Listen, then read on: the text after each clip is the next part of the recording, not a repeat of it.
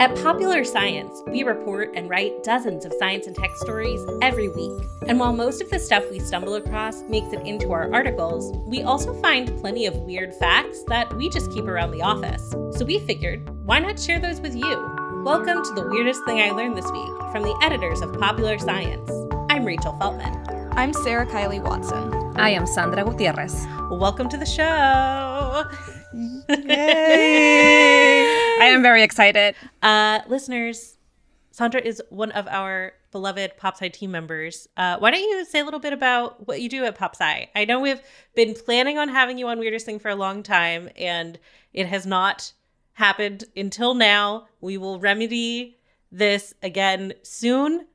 We want you in the rotation, but please introduce Amazing. yourself. Yeah, so I'm the associate DIY editor at Popular Science. I clean stuff, that's sort of my thing. And I look into the little science bits of everyday things so then you can know what to do and do things yourself. Yeah, you like. I feel like saying you research the little science bits is really an understatement.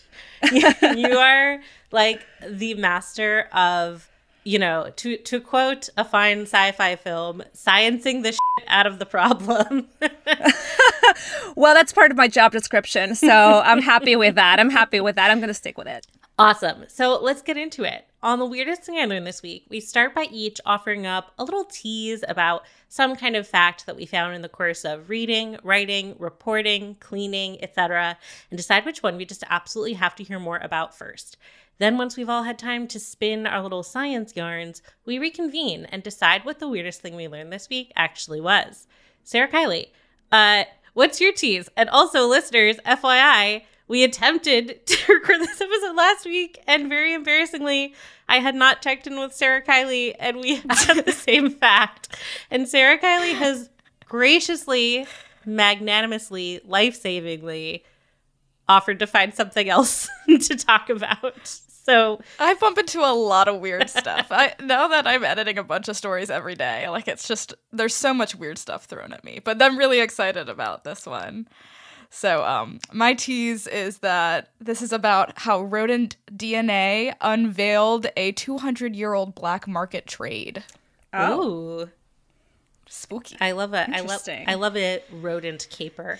Um my tease, which inexplicably somehow, even though it is not a new study, Sara Kiley and I both initially planned on doing, but I will do my best to do it justice uh, for both of us, uh, is that I want to talk about why scientists taught goldfish how to drive, which is a thing they did. oh, they did. What? I, I am so very curious that both of you knew the answer to this and I didn't. And now I'm like, well, tell me more. That's that's what weirdest thing is all about. It's just a a Venn diagram of weird things we know and most people do not because no one needs to know this much weird stuff. That's weirdest thing TM. Um Sandra, what's your tease? Okay, I'm very excited about this. Uh, I'm going to tell you the story of how illegal drugs might be the key to the future of organ transplantation. Sparkly emoji. Ooh. Ooh. so many drugs it could be just just illegal drug so uh i'm excited to hear more uh what do we want to start with i i can i can get us going as the goldfish Okay, did. okay. we can hit the road as the Oh, goldfish yeah, press on the goldfish gas. great Let's do goldfish then. all right. So, um, about a year ago, researchers in Israel published evidence that goldfish can learn to drive tanks. Of course, I mean fish tanks on wheels. Uh, though I do also love imagine them I was about, I was about to ask armored war tanks? Um, so the researchers crafted what they called FOVs, fish operated vehicles, of course, um, which basically amounted to fish tanks secured to motorized wheels. The the motorized wheel rig looks kind of like um, a DIY version of like a Mars rover, like maybe something you would see in uh, a very impressive high school robotics competition. Uh, and then the rig also included uh, a little camera, which was hooked up to a Raspberry Pi computer, very useful for DIY applications, of course. We talk about those on popsci.com all the time. Um, and it was pointed down into the water so that it could track the movements of the fish inside. And then it translated them into wheel movements based on a simple algorithm. so basically, fish goes in the tank, swims around in the center, nothing happens. But when it swims in a particular direction until it bumps up against the glass while continuing to face that direction, then the fish operated vehicle will move accordingly. So basically, to move the car forward, uh, the fish is sort of like nosing the tank along like it's rolling a ball, and the wheels are responding appropriately. Uh, the researchers placed a pink board somewhere in the room that they were doing the experiment in. And the fish were given a food pellet the moment their tank mobile successfully tapped the target. Uh, and after a few days, the six goldfish, who it feels very important to note were named after Pride and Prejudice characters. Um, yes. Oh my gosh. I love that. Yes, I love that. kind of detail I love. um, they all learned how to steer their FOVs to the snack zone, um, which is honestly like more than I have done behind the wheel of a car in many years. Yeah. So. Uh, I love this snack zone, by the way. Yeah. Like I just I just picture the goldfish like headbutting the wall of the tank and just like Welcome to the snack zone. I just I have I'm to sorry. hope the researchers, you know, had a, an appropriate amount of fanfare for the fish reaching the snack zone target, but um, we'll never know unless they decide to tell us.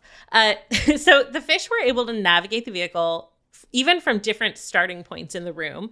So they weren't just like memorizing, oh, you know, swim forward uh, for this long and then like turn turn your head this way and that means you get food they were like finding this this pink target in the room um, and they even managed to ignore false targets that were placed around the room using different colors and they even were able to recover and redirect when their tank mobile bumped into walls which again that's better driving than i've done in a long time um, Apparently, again, this feels very important to note, Mr. Darcy and Mr. Bingley were the best drivers in the bunch. Ooh, good to know. Of course. Of course. So, when I first read about this study, uh, some of the coverage I saw seemed to imply that the point was showing that fish could figure out like the mechanism of operating a vehicle as opposed to just swimming.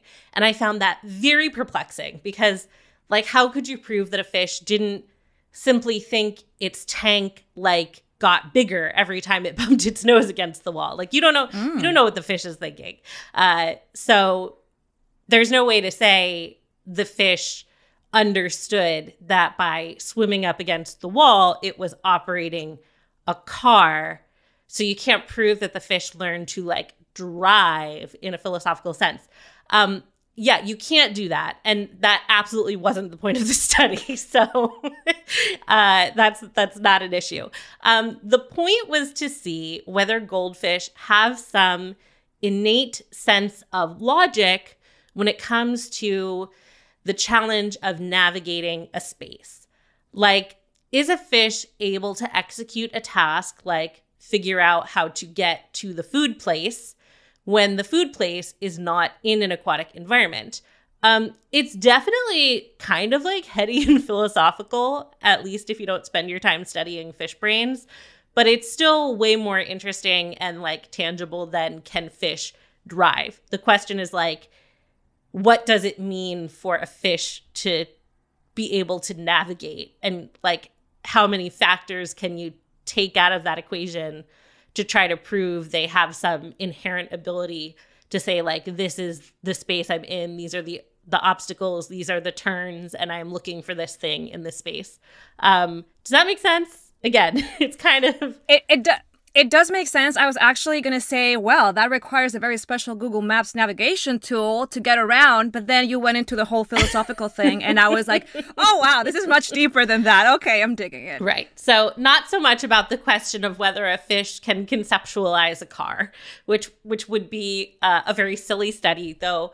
If someone out there has tried it, I'm sure it was really valuable and that you do really good science, but it's not what we're doing today. So, yeah, the purpose of the fish operated vehicle was just to make it possible for a fish to navigate in a non aquatic space. So, it doesn't matter what the fish thinks is happening when it makes the tank move. What matters is that the fish is figuring out the best way to get to an arbitrary target using extremely non fish native wayfinding points like walls and like tables in a room um, and again, the perspective is going to be all warped because they're they're clearly not swimming through a room full of water. So yeah, to just summarize one more time, it's it's about taking away everything that makes a fish navigating in the water not have to do with like knowing how to figure out and navigate a space. Fascinating stuff. Wow. See, I've always like thought of it as a reverse submarine. Yes, Like, it's it is a reverse submarine. Like That what is a would- very what go- would- good way to put it. Yeah.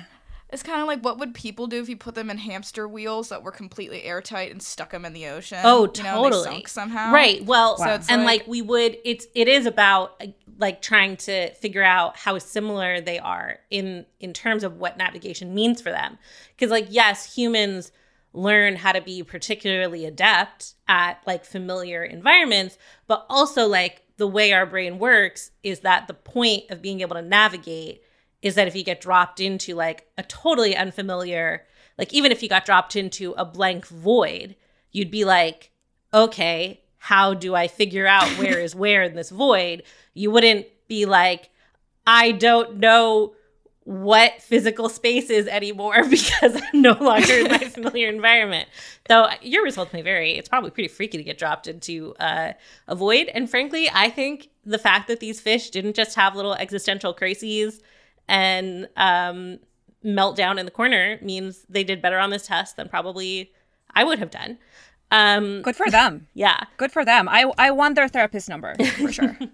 They were even able to approach their targets from like a wide variety of different angles, which suggests that they had some internal representation of this strange world around them. Um, and they got faster over time. So, all of this helps support the idea that the way we navigate space, which we know has to do with parts of our hippocampus that are pretty similar in all vertebrates, including these little goldfish, um, has more to do with some innate inner mind mapping tools uh, than it does with like species specific ways of figuring out an environment, which is not to say we don't also have those, because there are loads of animals who are uh, really well adapted to specifically navigating the kinds of environments they live in, humans included. But we also have like an innate ability to like look around, become spatially aware.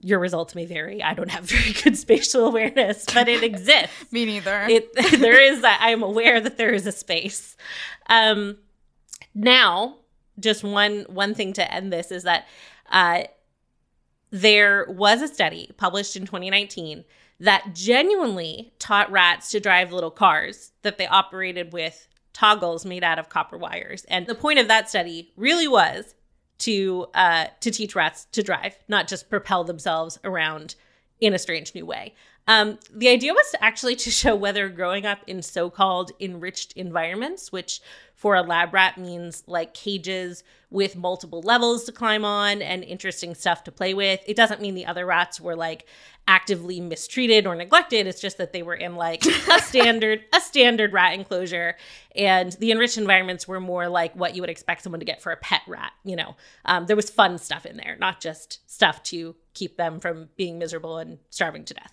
Um, relatable. so sometimes we must enrich our environments uh, ourselves.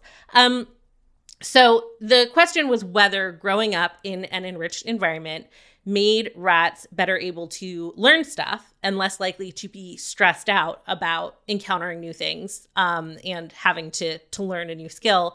Uh, which you know, obviously, uh, the one of the reasons they're looking into that is because there's a big question of how the environments we grow up in, um, you know, affect how our brains work and uh, kind of our resilience and our um, intelligence and uh, socialization skills. So, uh, very, very obvious reasons to want to understand, uh, even in a rodent model, um, how having fun stuff around and cool new things to do all the time might change the way you grow up. Um, so what's funny is that there didn't turn out to be much difference in stress level. All the rats apparently felt pretty chill about driving, at least like hormonally. Um, so that's nice. I'm glad that they had a fun uh, had a fun time cruising. Um, but the enriched environment rats uh, were more likely to keep wanting to drive around, even when there was no food for them to win by doing so. They just wanted to like mouse on a motorcycle it around the enclosure um, listen, listen. Driving can be very relaxing for a lot of people, so I'm not surprised rats think the same. I, I would probably like driving a lot more if I got to do it around a little enclosed space, just for fun. hundred percent with a cute Absolutely. little, makes it not fun is cute little DIY car just for me sometimes getting a snack when I did a good job driving. yes. I think um, Yeah, you you stopped at the intersection. Here's a little treat for yeah, you. Yeah, I think I'd be a very different driver. Uh, have a very different relationship with driving if if uh, that's how I learned. Um, so anyway, uh, that is that is why goldfish sort of learn to drive and rats really learn to drive. And I just love experiments where they have to make cute little rigs for animals to do humany things so much. Okay, now my question is the rats and the goldfish when they listen to Olivia Rodrigo, do they feel something? oh, do they do they feel the I got my license driver's license That's last week? The question. Can they relate? Can they relate? I don't know. I feel like having a car existential, existential crisis and understanding music probably are on the same level of brain power. so I don't know if the goldfish would. They it's one, like, or the other. One or the other, dude. Amazing. Okay, we're going to take a quick break and then we'll be back with some more facts.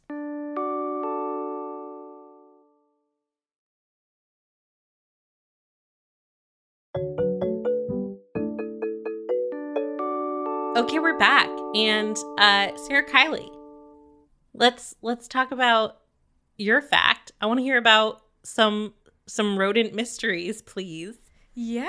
Well, so actually the rodents are kind of like you know, like a feature, but they're not the star of the show. So the star of the show is fur seals. So we're still going to talk about animals because that's my favorite thing to do. but we're going to backtrack it a little bit. So, about 150 years ago, um, sealers in New Zealand nearly brought fur seals, also known as kekeno, to extinction. So, we're talking about 18th century ish.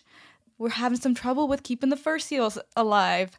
Um, nowadays, they're doing a lot better. The last recorded count that I could find was 2001, and even then, it was 200,000 of them. Um, little fuzzy, cute seals bouncing around the rocky shores um, throughout mainland New Zealand and parts of Australia and all of that. So they're doing better. Preface with a little positive note. But um, before we dive into the sealing, um, we're going to talk a little bit about the geography of New Zealand because there's two islands and they're only 25 kilometers apart, but they're quite different actually. So the North Island is home to um, the biggest city in the country, Auckland, and it's got a warm climate. It's got volcanoes and surfing beaches and all of that really fun stuff.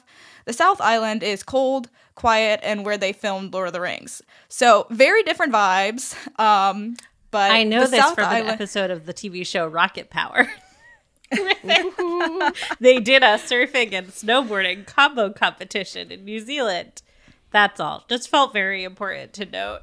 I mean, it is. That's probably the only that I didn't know anything about this, so I need to watch more Rocket Power. Um, clearly. But we're going to be talking about the South Island, um, the Lord of the Rings Island, the Cold Island. Um, and back in the day, um, fur seals were really dominant here.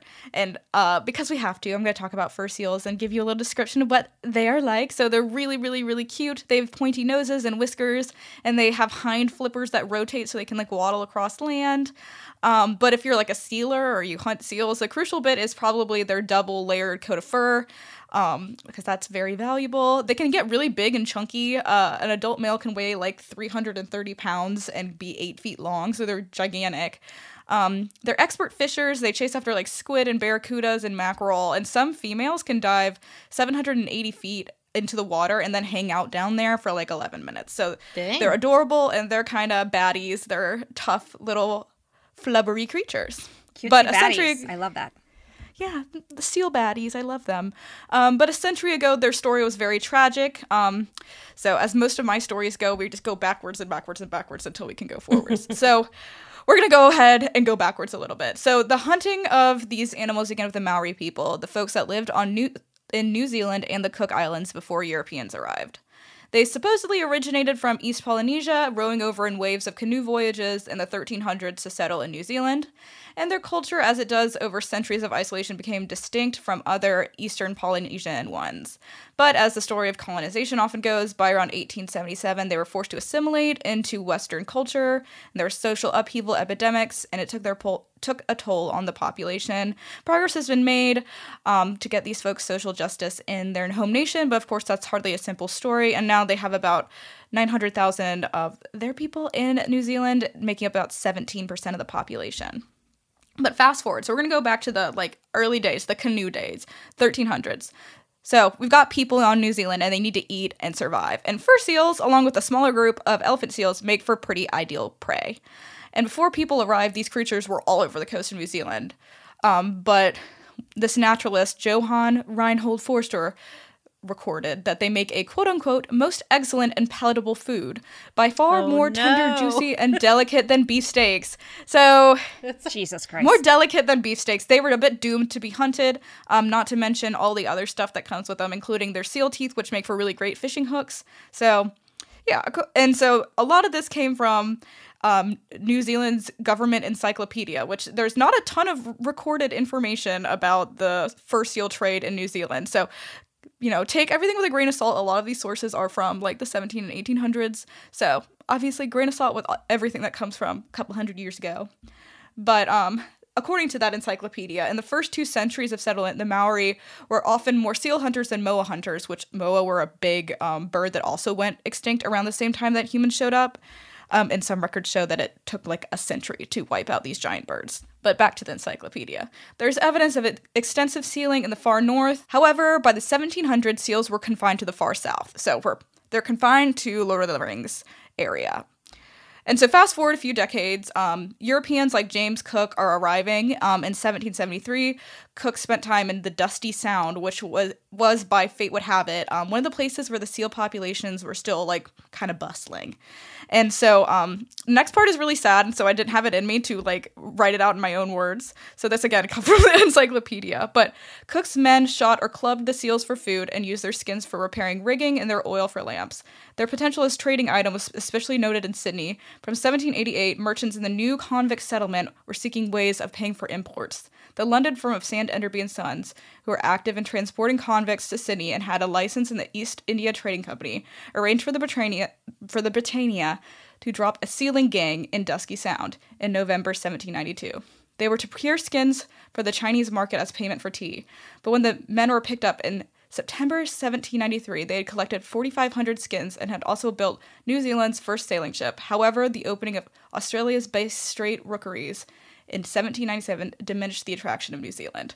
So, as things would go, people show up and we start clubbing the poor animals, um, which is pretty grim. And so this went on for a while.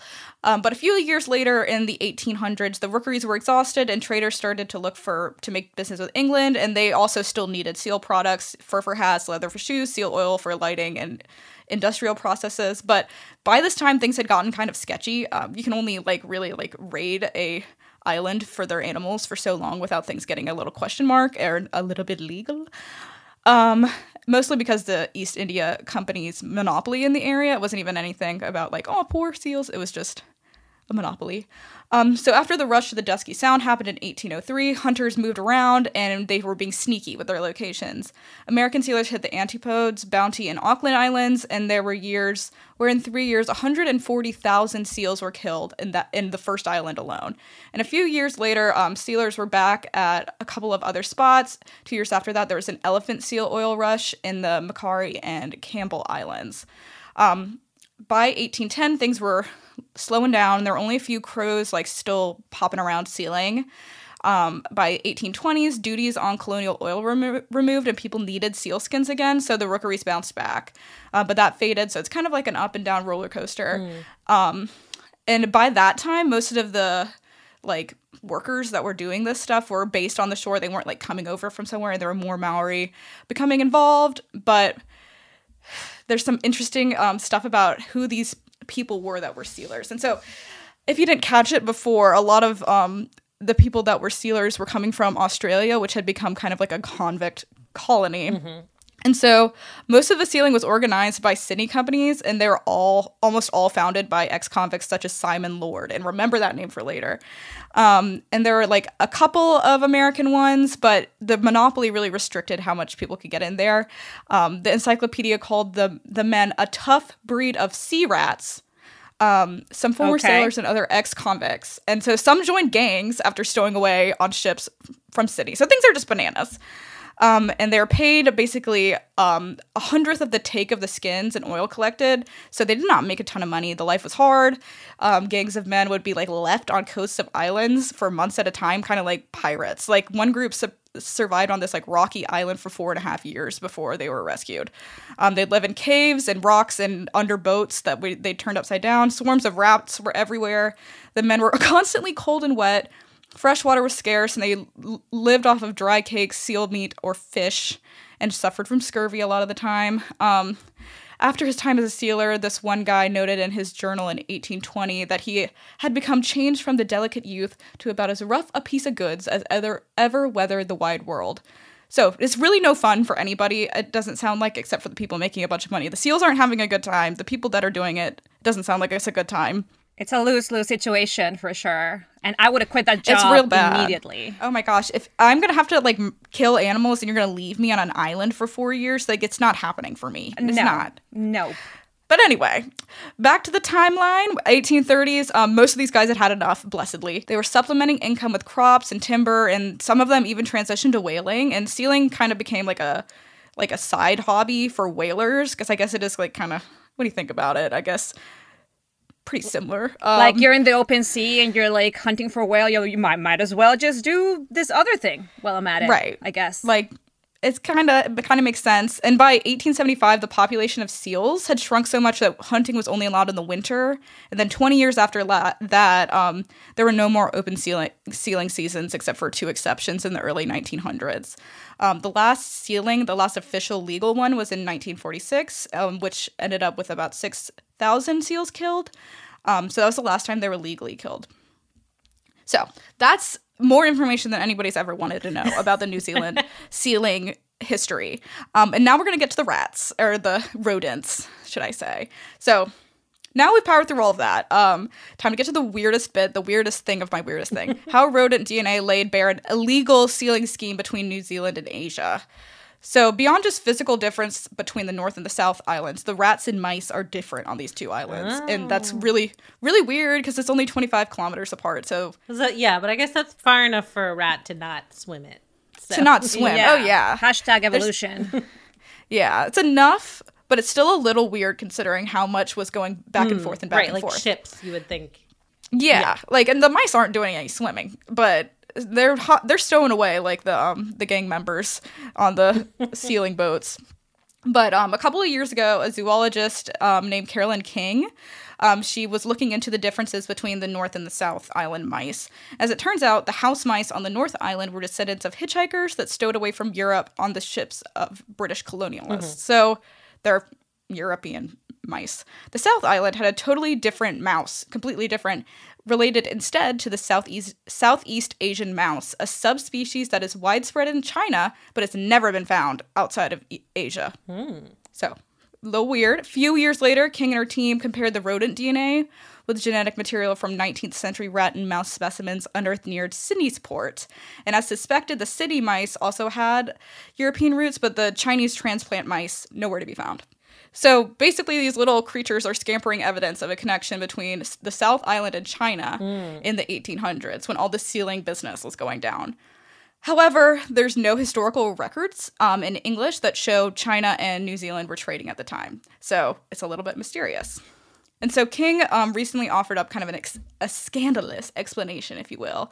As reported by Hakai, Hakai was the only um, article I found written about this at all, so shout out to them for letting me read their page a million times. But um, the rodents basically arrived with the traders who sailed to China to illegally sell the pelts of New Zealand fur seals, and then they returned to the South Islands. In the 1800s, um, these seal rookeries like dotted the South Island, so they were everywhere. And pelts were kind of the only thing the island had to offer at the time when it turned in turn of like commodities for trading and whatnot.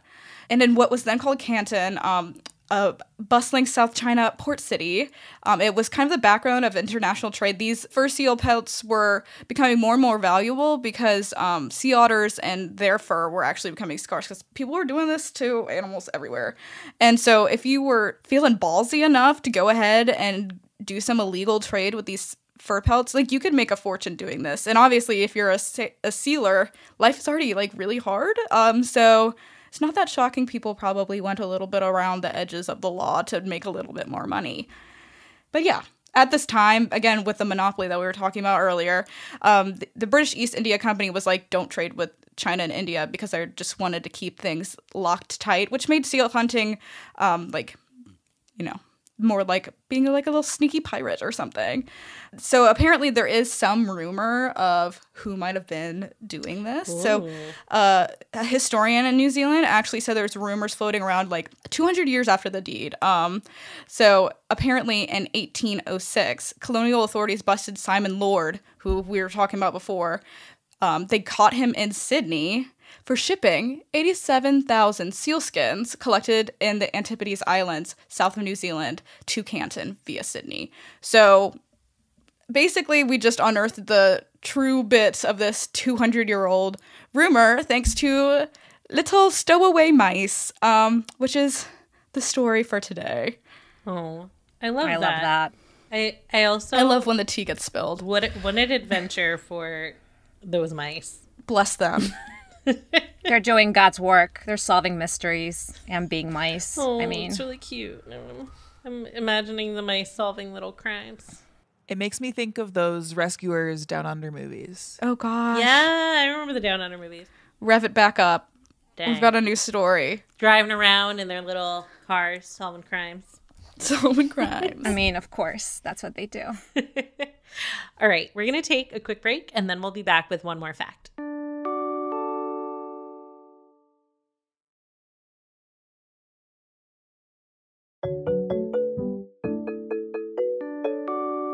All right, we're back. And uh, I would like to hear about some illegal drugs, please. Um, please, of course, I am very glad to oblige. Okay, but first, I want to tell you the story about how I came across this weird factoid because it's it's, it's sort of funny. Okay, so this was right around this time of year, so January 2022, that the world was celebrating the first successful xenotransplantation of a genetically modified pig's heart into a human body, which is awesome, okay? But the word successful here is a little bit ironic. So, the surgery was indeed a success, meaning that the patient, a 57 year old man called David Bennett Sr., didn't die on the table during the procedure. However, he did die two months later in March, though apparently his death had nothing to do uh, with organ failure. So, yay! That's good news. Um, now, xenotransplantation, which is the technical term for transplanting tissue, such as organs, from one species to another, has been making a lot of progress in the last couple of years. And before Dr. Mohammed Mohiuddin and the medical team at the University of Maryland School of Medicine completed the transplant of the pig's heart, another team at NYU had successfully done something similar with a porcine kidney in 2021. And, you know, like most people, I was completely in awe by this medical breakthrough. And as one does, I got absolutely obsessed with it because, of course, why not? So I started consuming uh, a lot about it. Uh, I was reading articles, I was listening to, to podcasts, I was diving deep into the deepest rabbit holes of TikTok. You name it, I was there. so one day I was walking my dog and I was listening to an episode of Today Explained uh, when the host mentioned, only in passing, which is baffling to me, that before the actual transplant took place, the pig's heart had to soak in a very special solution. This particular concoction, whose recipe is, of course, proprietary, contained a mix of around 10 different hormones, including some cortisol, a dash of adrenaline, and a very special ingredient one gram per liter of dissolved cocaine. I knew it. I had a feeling in my heart. This is I a mean- Coke story. Of course it is. I mean, you got little white powders in your kitchen for a reason, you know? little white powders here also makes sense. So, this is funny because for years, doctors have turned down potential heart donors with a history of cocaine use, hmm. mainly because of the belief that the drug might affect the quality of the organ, making it unsuitable for transplant. So, there are recent studies contradicting this belief and stating that there's not a huge difference between the hearts of donors who have never tried Coke and donors who have a history of consuming the drug in a non intravenous way, so, you know, snorting it. But transplant centers routinely decline tissue from this type of donor due to the concern over cardiac complications. So, uh, let's go back to the Coke brew. It was developed in Lund University in Sweden by Dr. Stig Steen. I am definitely butchering his name, so my apologies. Uh, he has dedicated his life to researching organ transplantation, especially heart and lungs, and he uses pigs because, in case you didn't know, swine physiology and anatomy are very much like ours. So, up to a certain degree, you can easily extrapolate results from there and apply them in clinical studies with humans, which is cool because you don't want to butcher people to save other people. It just doesn't make sense. Although, hashtag capitalism. Anyway, Also, so, hashtag the history of medicine. But I mean, I'm glad of course. evolved from that. so. We're trying. We're trying. We're trying. getting there. It's it's a long way off, but you know. Uh, so in 2016, Steen publishes a paper on how injecting pigs with a solution he gave the very cutesy name of brain death cocktail. could What? I know, I know. This is insane. I read about it and I was like, wait a minute, you didn't come up with a better name for that? But anyway. I feel like that's the name of a mixed drink at like a really bad college bar. yeah. and of know what I course, mean? it has it has like a monster energy drink in it, like it has to.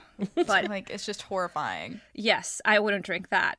But anyway, uh, the brain death cocktail could stabilize the pig's heart for up to 24 hours after harvesting, so that they're still eligible for successful transplantation. And just if you're curious, the name stems from the moment when the brew was injected into the swines, which was 30 minutes after they were brain dead, like I very see. brain so dead. So it wasn't that this was the cocktail that induced brain death. Yeah, no, it isn't. But again, g- God, like you can come Organ up with a better. savior cocktail would be fine. Right. Yeah. No. like but, uh, I I don't I don't know. It's like- brain cocktail, brain brew, pig's heart with a um you know with a little Brain umbrella. I. I don't know. There's so many possibilities. You could have come up with something better, Dr. Steen. I'm sorry. But you know, now in general, heart transplants are extremely delicate in that you need to put that ticker into the recipient's body within one to two hours after harvesting. Otherwise, the probability of the procedure going south increases way too much, and it's not even worth it, you know, attempting the procedure. At the moment, there's no research that shows that if Dr. Steen's Coke brew works in human hearts. But since the team at the University of Maryland was using a pig's heart, they decided to try the solution to give themselves a bigger chance at success as possible.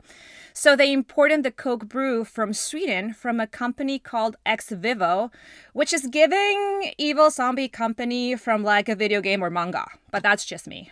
In an interview with Science, Dr. Mohiuddin, who led the team at the University of Maryland, explained that the fact the solution contained cocaine created a headache because each time they imported it, they had to get the Drug Enforcement Administration involved and get a permit.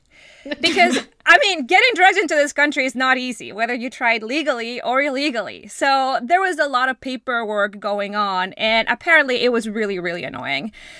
And now to the million dollar question, because I bet that you've been wondering this from the time I started talking. Why Coke? That is very weird. So, Steen's 2016 paper says that the preservation of a potential donor's heart should start with optimizing the blood circulation in the donor, meaning in this case the pig. So, to do that, doctors try to increase blood pressure by injecting the system with a hormone called noradrenaline or norepinephrine. But the substance is not as efficient as it can be because the chemical changes that happen in the pig's brain post mortem make it so that the body absorbs noradrenaline way too fast, so it cannot do much. But good news! This is great. Here's where Blow comes to save the day. it just so happens that the drug is a pretty good reuptake blocker, which means it prevents noradrenaline from being absorbed, effectively helping normalizing blood pressure. Oh.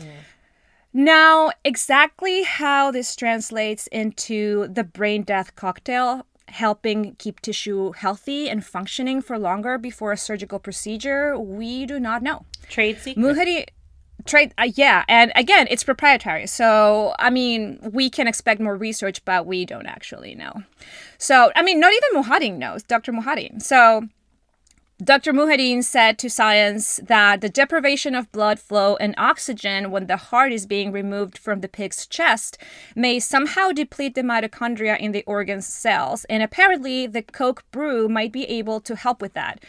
But that's just a theory, and we need to wait until more research is done so we get more answers. In the meantime, the future of pig organs in human bodies it is uncertain, but it is slowly progressing. So research is still ongoing, and there's a lot of bureaucracy involved, which is really a bummer.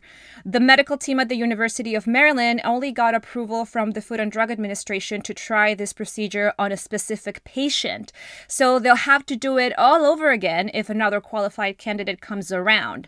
And because we're talking about organ transplantation here, that is a big, huge, tremendous if. But you know, in the meantime, Dr. Mohiuddin and his team are doing tests on baboons, hoping to show long term survival rates and get FDA approval for a multi center trial to advance their approach in xenotransplantation.